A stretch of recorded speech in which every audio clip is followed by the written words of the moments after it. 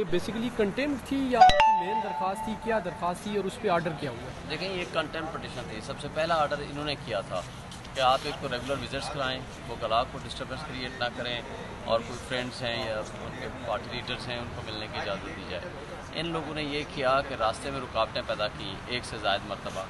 आखिरी मरतबा चार जुलाई को हमारी लीडरशिप सारी खड़ी रही और उन्होंने मिलने से इनकारी करा दिया। और उसके अलावा जो एसओपी बना हुआ है, हालाँकि उसको चेंज करने के लिए हम रेट पटिशन फ़ाइल कर चुके हैं और वो पेंडिंग है, जैसे समर निफत के पास, लेकिन जो आर्डर हो चुका है, उसके ऊपर भी अमल दरामद नहीं करने देते एक ग्लास लगाया हुआ है दरमियान में और इमरान खान और हमारे दरमियान हम ना कोई डॉक्यूमेंट्स एक्सचेंज कर सकते हैं और इतना ऊँचा बोलना पड़ता है, क्योंकि इतना बड़ा गिलास है, ऊपर तक पाँच छः फुट तक। जिसके लिए हमें मुश्किल ये पेश आती है कि हम इतना ऊँचा बोलेंगे कि वो रिकॉर्डिंग करना है और फिर पुलिस वाले बैठे होते हैं एक अंदर, हमारी साइड पे, एक दूसरी साइड पे जो सब कुछ सुन रहे होते हैं। जो कॉन्फिडेंशलिटी है वो बराबर नहीं रहती और हम कागज़ों की तब्दीली नहीं कर सकते क्योंकि कागज़ उनको देना चाहें और उनसे लेना चाहें। अवल तो हम लेके ही नहीं जा सकते। हमें जाते वक्त भी सर्च होती है, वापस आते वक्त भी सर्च होती है।